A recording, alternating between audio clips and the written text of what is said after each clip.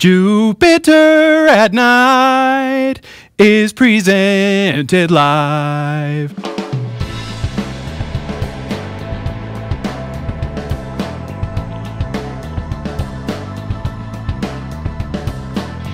Good evening, everyone, and welcome to Jupiter at Night. My name is Chris. And my name is Jeremy. Now, tonight's episode is going to be a little bit self indulgent because it's going to be about us. Uh, last night, as we were recording Jupiter at Night, about probably towards the very end of the episode, As many of you were here. yeah, we were kind of building up the live stream. The traffic was high on our server, and our server crashed. The people that were watching live probably didn't even notice if they didn't reload their page. Yeah. And we went on, did the show we didn't know, and uh, we finished up, said goodnight to the folks, kicked on the live uh, stream reruns, walked back into the editing bay, sat down, and said, wait a minute, the website's down. And then, of course, thankfully, this doesn't always happen because you know after Jupiter at night, we're and after after a little post show uh, chat, Mm-hmm. we usually hang that out and yeah. Yeah, it was kind of late at night, and um, so it's about eleven o'clock at night before we even really notice. Right. And normally by that point in time, most of the team from Jupiter Broadcasting is offline. But luckily, most people were online. Uh, you know, Brian, Brian was was up late coding last Yep, night. Yep, and you were up because you're always up late, and I was up late because the website was down. and then some of the other guys that we didn't have to wake up were actually still online too. But um, I, I started Jeremy, Jeremy, can you get to the site? You know, Jeremy can't get to the website. get to the website. We realized our server is actually down, and what happened was sort of the process I'll go through now with, with you guys. Um, it started really as kind of our fault. It was our bad. Was it? Yeah, it was. I didn't know this part. Well, I mean, I, I just basically got you through chat going, what the hell? Yeah. I can't fix it. so and I'm going to give you guys some tips to help you prevent this. But the first one I'm going to uh, you see that first one there on my list. It's uh, that's really kind of our fault. There's no way Oh. around it. The server had been running for over 460 days without a reboot. 460 days. That's almost a year and a half. Yeah. Wow. Can you guess why that is? Because you forgot to reboot it? No. no. Uh, I, I admin servers for a living. You think I forget? I'm watching that, just Oh. sitting there biting my nails. I was actually planning to give it a little TLC last weekend, and I didn't get an, uh, an opportunity. Just last weekend. Yeah. Oh, whoa. Um, but no, it's just the on on a podcast network. We're twenty four seven. It's always somebody's time That's to right. download somewhere in the world. Yeah. There's never a like we watched the trends on our site. We were I've been specifically trying to track it back to find a good time to work on our server, Mm-hmm. and I just simply did not see a downtime. And that so then it's like okay, well, who do I want to screw? Right. so I was trying to make that decision, and then the server just kind of made the decision for us. So the first part was it was. Everybody. So it is an older server, but we it looks like it was probably just um, some sort of crash. We haven't actually gone through all the logs yet to find the out. scary part, though, was that after putting in a ticket and getting an almost immediate response, that was Yeah. pretty cool from the fo- folks that host it. Yeah. Um, it still took like two two hours plus before we Yeah. finally got our server back up and online and functioning. Yeah, it did a reboot and a check disk and um, and, or an FSCK because it's a it's a Debian box. Um, and it was nail biting because we didn't know if we had a bad drive, a bad controller, and you know it's not anywhere near us. but we weren't using proper backups. We didn't. We thought we were, and we'll get into that. We thought the backups were were looking good. Of course, then we go to pull the backups to do a, a potential restore, and well, lo and behold, we had good database backups, but we didn't have any backups of the actual website. The backup had failed. It had been failing. Ah, yeah. And So- it reported it successful too, which is awesome. um, Now, fortunately, that didn't end up boning us in the A, but it very Right. well could have. We would have lost all of our back show Yeah. notes, Yep. all of the art that we had uploaded for yeah. the episodes. We'd have to go get all of that from the original source. The place. episodes themselves would, would still be available. Yeah, you know, thankfully the, the way one the one way we kind of do things is we have our server, and that's really only hosting just our uh, WordPress site, and um, that's about it. And then Yeah. that's been highly cached so that uh, we can run that pretty much with very low impact on our server. Mm-hmm. And then all of the other high, you know, high uh, large file size stuff is all on different networks, Right. Mm-hmm. content distribution networks, and YouTube and things like that. So while the main site was down, all the RSS feeds still worked, and, And you could still get to the videos from YouTube. In fact, Yeah. that ended up having last night's Jupiter at Night was on YouTube before it was on our own site. Yeah, yeah. It was just kind of it was like okay, I'm ready to post the show, but I don't have a website. uh, the other problem, I think, the other mistake we made is there's no alerting in place. Now, this is uh, something that you guys might want to go over to the show notes for. At the very bottom of the show notes, we threw in a link in there for a free website monitoring service, and it'll actually monitor anything. Um, like an email service, uh, it'll check any port you want. It can do all kinds. Like it'll check uh, phone systems. It's pretty cool. And it doesn't even have to be your site. No, no, So it's free, can- and then you can get like you can buy SMS and other features like that. That's neat. Yeah, so check it out. Uh, And so really, yeah. we were having to rely on each other and the the general Jupiter our public. Twitter audience, yeah. Yeah. Now, uh, you said we should talk about this and kind of turn it into a way to maybe move people Absolutely, to a situation where they're in a little better spot. We had Yeah. some news come out that sounds seems like this kind of thing happens more and more, Uh, yeah. God, and not uh, always and under your control. I mean, we're talking a lot about data you can control. This is that's the key point. Uh, you know, I've always thought of backing up as something that I have to take care of my own personal data Yeah. on a one-on-one basis. But if you think about it, uh, this is something that has to be done remotely as well because a lot of your stuff is stored in in the cloud. They might call yeah, it. exactly. And you know, there's there's been a the couple of stories that came out just in the last couple of days regarding data loss. One out of Florida State College. So if you're going back to school, this might be something to think about um, because again, the data records that they have, you also need to be cognizant of, so that way you're. It's not always the data you have under your control. Uh, they had 30,000 students with various different records that were lost due to a software upgrade that basically published the information into the web and then was searchable. And they only found out after students started mentioning, hey, I'm finding people's stuff on Google. Right. Now, actually, this led me to to start googling myself again. I used to do this. I know it They sounds call kind it of a vanity, self-indulgent, though. a vanity search is what they call it. But uh, you know, if you think that you're being good about keeping your personal identif- identity Yeah. private on the internet, it might not be a bad idea to do those vanity searches you, on occasion. now you searched for yourself, but what I think you probably should have searched for is also some of your online handles. of course, yeah. yeah, and that's always that always finds some interesting stuff. Mm-hmm. I searched for some of mine, and I find stuff from really, really old stuff all over the place. Yep. It's kind of wild. I haven't done it for a while, but uh, the other, the other, t- now this moves us into backups in general for yourself because there's a story that came out for. Um, if you guys have heard of Evernote, it's sort of like the online memory service where you're supposed to be able to record everything in there. They've got a web version, they've got clients for the iPhone, for Android, for Blackberries, and for desktops, except for Linux. Um, but they also suffered a data loss. Even with all of the redundancy they have set up, uh, they lost about 6,000 users' data. Uh, they have Not all of their data, no, no, no, just only anything that was trying to be accessed during this period of time. over a four-day period of time, uh, and you had to be accessing it though through their website, not using one of the client versions. But Because you- otherwise, the client would reset. you mentioned earlier, there's no uh, Linux client, so Right. anybody that uses this on Linux has to use it through their web client. And I think they just surpassed like just today. I think they just hit six million users. So, you know, six thousand people really isn't that many. They they and they did a really good job of explaining what goes on. But still, four day window. And this is a company, and this is a company I've used for years. But this is a company who is built around storing your data, and they had this happen. Mm-hmm. Yeah. So you really have to be mindful when you're doing this cloud computing type storage uh, of your data. And to that end. Uh, Jeremy, you and I have been wanting to talk about this Backupify service probably since before we even really started the show.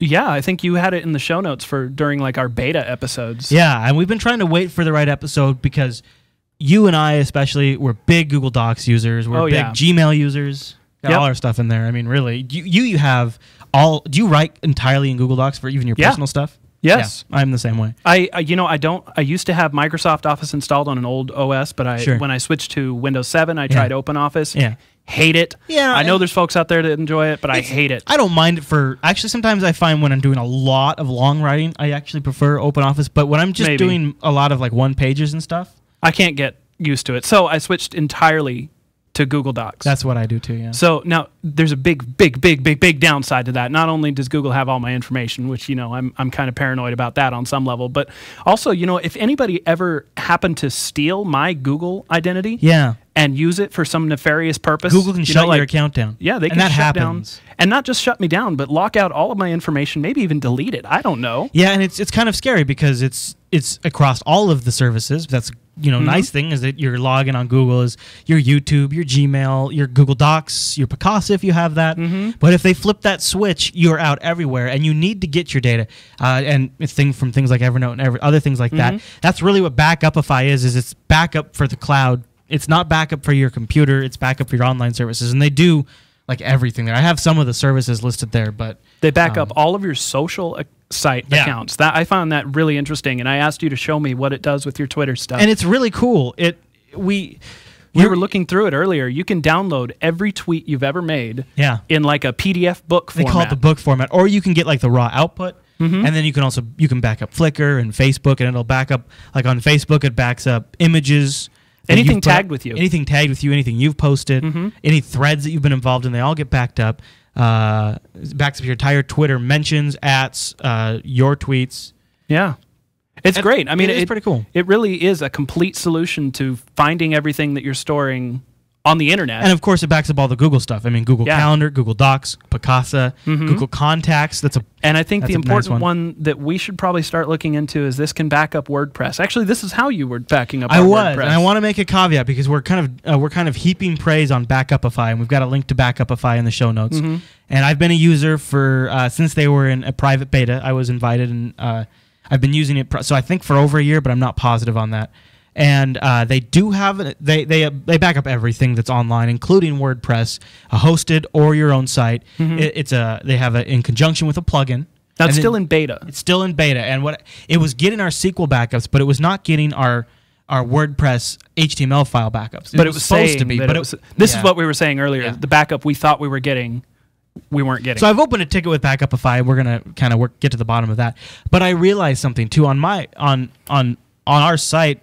Mm-hmm. The, the WordPress installation alone isn't enough. There's a lot of files outside WordPress that are also used. Plugins and so it wouldn't yeah. have been a complete backup anyways. well, We would have had the main like show notes and stuff though, which Yeah. would have been key. But we had the database. That was really the that can was you imagine having to go back through all that hand by hand and maybe reposting it all? it would uh, I would probably have to hire people. I would think, um, and then so it wasn't perfect back up Backupify, Yeah, but it's got its faults. as far as like all the other online cloud services, it's been running great for me for a while. You're gonna try it. I am going to try it. It's cheap, and if you already have an S3 It's account, you can use it free. It's free. You're free up to two gigs. Two gigs, right? If you like Amazon S3, uh, I've got an You S3 You can plug account, that into it and basically get unlimited storage Yeah, using their pay free for account. S3, and then you get a free. Yeah, it's great, and that's what exactly what I'm doing. Mm-hmm. So I've got all the docs in there now, which I feel good about, and I've got all my other stuff in there. So I'm I'm, I'm feeling a little more comfortable that about that. So now I thought let's move on to, to local machine backups. Now, this is an area that I suck at. Do you? I do. I, I, you know, I I, even, though. you know, uh, what was it? Like a month ago, I talked about having to go through all those old hard drives and pull the It was documents. like off one of our uh, like number episode one or, or three or so of Jupiter yeah. Night. So you'd think after going through that, I might start taking care of my backups. No, Yeah. I suck. I'm not very good about it. I do backups now, though. Caveat: You and I, at least you know, with the with the, all the network stuff internally, are huge Dropbox users. Yeah. and there's built-in backup to that. And you know, uh, honestly, the Google stuff, the the the cloud storage stuff, is probably seventy-five to eighty Yeah, percent yeah. of my total workload. Yeah, You know, yeah. Of everything that I want to not lose to a hard drive crash is probably eighty percent or more is on the cloud where already. I'm, where I'm still hung up is my music collection, my pictures, and you know to to a lesser extent my video collection. I can't really. It's not practical for me to back up my video collection, but I know for a lot of people it's Yeah. practical. And there's a really really cool software that I've never personally used, but I've talked to the developers. I've looked at it. I've heard from a lot of Jupiter Broadcasting audience members that have used it. But I can't personally say it's good, but I, I've heard a lot of great stuff. It's called Crash Plan. And I'm a multi OS guy. I run all three primary main Mm-hmm. OSs. They have a Mac, Windows, and Linux version. It's handy. They let you use it for personal use for free. I think there's probably some sort of limit in terms of total storage, Hmm.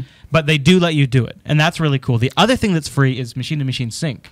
Oh, cool. So, like for example, you and I could have Crash Plan machines, a, uh, agents installed on our machines, and we could, if, if we, if kind we of didn't like a pseudo Dropbox sort of thing. Then? or a, or a pseudo offsite backup without having to pay for unlimited Oh, storage. right. Because they'll do something like eight bucks a month. You get completely unlimited storage, is what they say. And I, I I asked them because I was really trying to get my head around this. Could I up? Could I could I upload five terabytes of data to you? Mm-hmm. I said if you can get it to us. Actually, they'll let, they'll let you. Um, I've got files, bitches. they'll say actually for, for large uploads they they uh, have you uh, seed them a hard drive. oh, and so you send them and then they, they can preload it if you want Hmm. uh, but we could we could and or if you had a family member you could have a you could have a family member's computer backup to you and vice versa oh, a lot of people have high bandwidth that's totally free it'll also do backup to a usb drive and offsite and a sync for free so it's cool it's my cool brother app. has terrible luck with hard drives. That's why I was doing that whole thing recently. Is he goes I've through them all the time. dude. So Yep. I, that might be a great idea to have him like back up to either mine or maybe my parents or something Yeah. like that. Just have him an, an offsite backup. Well, I was just doing a uh, I was just doing a Linux uh, home server build part one and two for the Linux Action Show. Mm-hmm. It totally dawned on me that you could do this sync to sync even on your own machines in your local network. Right. So I could install it on my server and on my main desktop, and I could have my server and my main desktop sync to each other because I've got a ton of storage on both. Right. So why not back each other up? Yeah. So uh, it doesn't have to be over the internet either, but it is nice if you do want something completely offsite. And the fact that Crash Plan lets you do it for free and for any operating system that you'd likely be using, it's it's a big Now, win. I get the feeling that this um, is not quite as widespread use, which Yeah, is probably why they're not stating their hard limits and stuff it's like not that. it's not like your carbonite or, or Mozy's, but I actually I think that makes them a little more hungry, and, and I like their offering a little better. yeah, I, that's not really what I'm getting at. I'm, I'm Oh, okay. just saying that that's why they don't list like you can only have one terabyte of storage because you know if they've got a large data, data center with plenty of room, why not use it? Exactly. But if they don't have much room, they don't want to go around I actually my suspicion advertising that they're short on space. I, my suspicion based on their pricing model. Mm-hmm. Uh, as a dis- personal disclaimer, um, I work for an IT company in Washington that does online backup for our clients, and I've I'm seeing similarities in pricing structure here. And uh, what I believe it is is they are they are using S3, and then they're doing a slight markup, which Amazon lets you just Oh. automatically do. yeah. And so their their storage is essentially infinite because they're relying on Amazon, which Amazon just has crazy storage they keep adding, and they just provide a really nice front end API and packaging. Well, they've that. got to keep adding enough room to because eventually those AIs are going to take up a lot of space. Yeah. They're going to need plenty of. Oh, yeah, Skynet's got to back up somewhere big, dude. You got to have a lot of storage for Skynet. Uh, and uh, before people jump down my throat about the S3 comment, you can't really back up to S3 directly yourself without some sort of front end software. Right. So this crash plan is one way to. There's other things like Jungle Disk out there. That's the one I use currently. Um, but uh, I, I really like uh, what Crash Plans offers. I'm gonna have to do some of this because you know I could go home tonight after the show and find out that my computer Yeah. at home was effed somehow. And you know the with the stats, I believe if I recall, this is off the top of my head, but I think it's in the first 90 days, and then after 90 days, uh, it's it's uh, the percentage chance of of, of, drops of drive crashing. Yeah. After 90 days, it drops down till about three years, and it starts to go up, and then by five years, it's like when it's most likely from five years on. How old is that computer? I think you're kind of in the four year Oh range. crap! That's what I'm saying, buddy. You might want to check out the crash plan. All right, everyone. Well, uh, we'd love to hear your backup tips, suggestions, or ideas. So you can leave those over at jupitercolony.com or put them in the comments anywhere you'd like to. We try to check them all. There's still people out there that do the old school, just burn the entire drive to a DVD and then stuff it in a desk drawer. You know, uh, there is, if you're a Security Now listener, I, I've heard it a hundred times, but I believe Steve Gibson, who's like got to be in his 60s or close to it, uh, still burns CDs and mails them to his mom. And that works. you know, it, it does, and it keeps it secure. Yeah. who can you trust if not your mother? Exactly. I'm sure he encrypts it with something like TrueCrypt. He's probably safe.